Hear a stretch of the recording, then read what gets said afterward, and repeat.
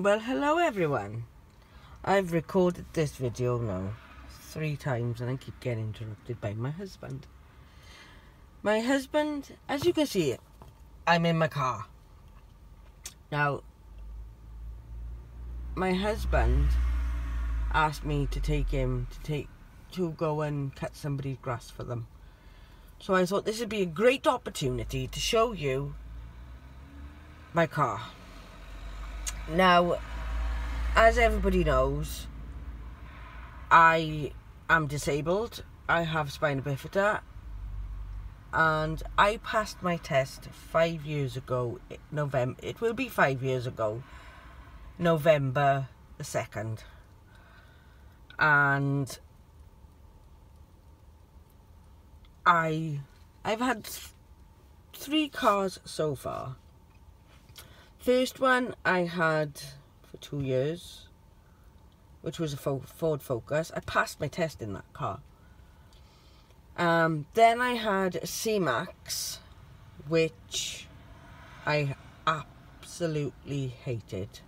Hated that car. And then I got this car, which is a Hyundai Ioniq. Excuse my engine, it goes on and off because it's a hybrid. Um, so I'm going to show you now. Obviously I can't show you me actually driving. But I am going to show you how I steer and how I accelerate and brake and indicate. Right. So, we have a knob on my steering wheel. Um, this is how I steer. Don't worry, my brake is on so I'm not going anywhere so that's how I steer. And then down here ignore the sand. I went um, to the beach. I'm gonna get my husband to hoover the car out when he's next got free. So this is my push-pull adaptation as you can see there's a bar that goes down to the pedals and then it splits off.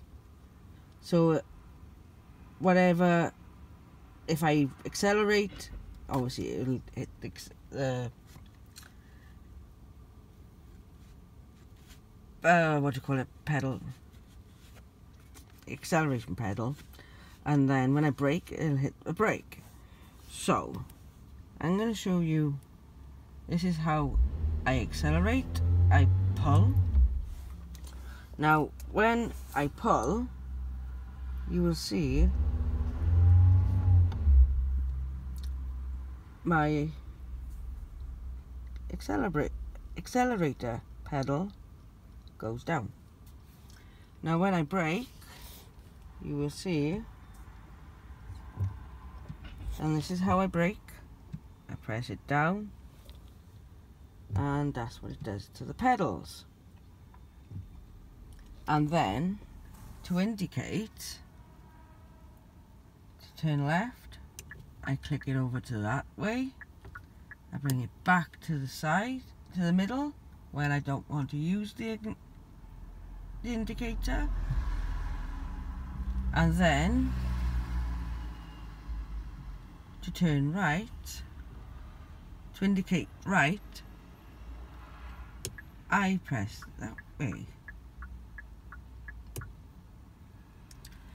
So, yeah, that's my car. Um, and what else I like about my car is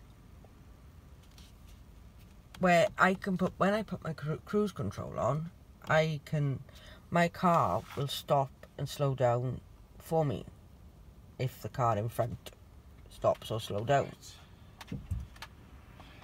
and when I'm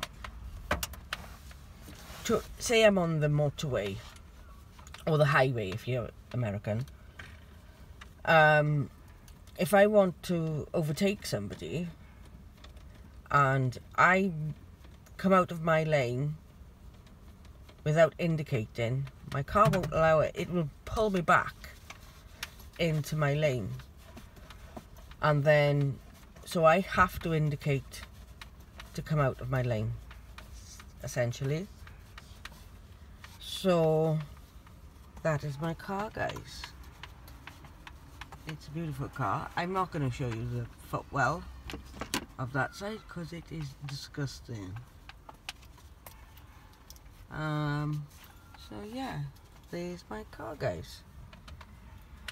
Right, so a short video for you to show you essentially how I drive. I might even do um, a car, a video of me actually driving and I'll get my husband to hold the phone to show you how, how I actually drive. If he, if he will do it for me. He's giving me evils at the moment. so, yeah, that's me guys again today. I will see you all in the next video. Bye guys.